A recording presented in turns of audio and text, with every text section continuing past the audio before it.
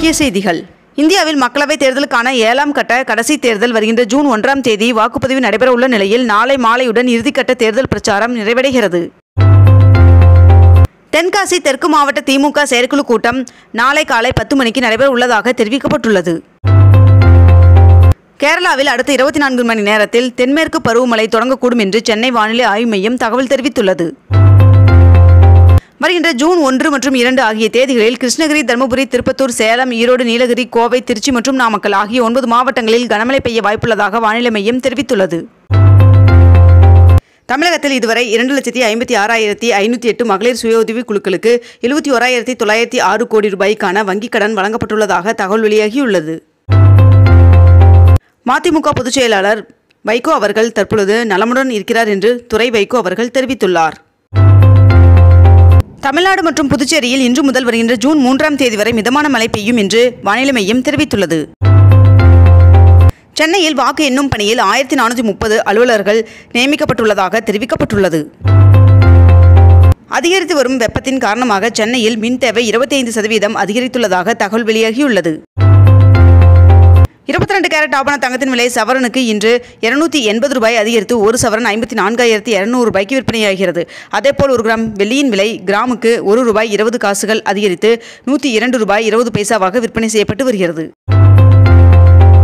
விழுப்புரத்தில் அறிஞர் அண்ணா அரசு கலை மற்றும் அறிவியல் கல்லூரியில் சிறப்பு ஒதுக்கீட்டு பிரிவினருக்கான மாணவர் சேர்க்கை கலந்தாய்வு இன்று நடைபெற உள்ளதாக தெரிவிக்கப்பட்டுள்ளது. வருகின்ற ஜூன் ஒன்றாம் தேதி காணொலி காட்சி வாயிலாக திமுக மாவட்ட செயலாளர்கள் ஆலோசனை கூட்டம் நடைபெற உள்ளதாக அக்கட்சியின் பொதுச் செயலாளர் துரைமுருகன் அவர்கள் தெரிவித்துள்ளார். கோடை விடுமுறை முடிந்து பள்ளிகள் வருகின்ற ஜூன் ஆறாம் தேதி திறக்கப்படும் உள்ள நிலையில் புதிய பஸ் பாஸ் வழங்கும் வரை பள்ளி மாணவர்கள் பழைய பஸ் பாஸை காட்டி பயணம் செய்து கொள்ளலாம் என்று போக்குவரத்துறை அறிவித்துள்ளது. மே மாதம் ரேஷன் கடையில் வழங்கப்பட வேண்டிய துவரம்பருப்பு பாமாயில் உள்ளிட்டவைகள் வருகின்ற ஜூன் மாதம் முதல் வாரம் வரை பெற்றுக்கொள்ளலாம் என்று தமிழக அரசு அறிவித்துள்ளதாக தகவல் வெளியாகியுள்ளது. தமிழகத்தில் கடந்த நான்காம் தேதி தொடங்கிய அக்னி நட்சத்திரம் நேற்றுடன் முடிவடைந்தது. சென்னையில் வாக்கு எண்ணும் பணியில் ஈடுபடும் ஊழியர்களுக்கு முதல்கட்ட பயிற்சி இன்று வழங்கப்பட உள்ளதாக தெரிவிக்கப்பட்டுள்ளது. இந்தியாவில் நேற்று அதிகபட்சமாக ராஜஸ்தான் மாநிலத்தில் நூற்றி இருபத்தி மூன்று டிகிரி ஃபாரன்கீட் வெயில் பதிவாகியுள்ளது. டெல்லியில் பல இடங்களில் நூற்றி இருபத்தி ரெண்டு டிகிரி ஃபாரன்கீட் வெயில் பதிவானதாக தெரிவிக்கப்பட்டுள்ளது. தில்லியில் நடைபெறவுள்ள இந்திய கூட்டணி கட்சி தலைவர்களின் கூட்டத்தில் பங்கேற்பதற்காக முதலமைச்சர் மு ஸ்டாலின் அவர்கள் வருகின்ற ஜூன் ஒன்றாம் தேதி தில்லி செல்ல உள்ளதாக தகவல் வெளியாகியுள்ளது. வருகின்ற மே முப்பதாம் தேதியாகிய நாளை பழனி முருகன் சுவாமி கோவிலில் ரோப்கார் சேவை நிறுத்தப்பட உள்ளதாக தெரிவிக்கப்பட்டுள்ளது. தமிழ்நாடு புதுச்சேரி காரைக்காலில் வருகின்ற ஜூன் ஒன்றாம் தேதி ஒரு சில இடங்களில் கனமழை பெய்ய வாய்ப்புள்ளதாக இந்திய வானிலை ஆய்வு மையம் தகவல் தெரிவித்துள்ளது.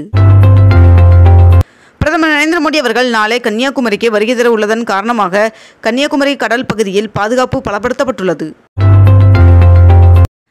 அரசு கணினி சான்றிதழ் தேர்வு ஆகஸ்ட் மூன்று மற்றும் நான்கு ஆகிய தேதிகளில் நடத்தப்படும் என்று தொழில்நுட்ப கல்வித்துறை அறிவித்துள்ளது.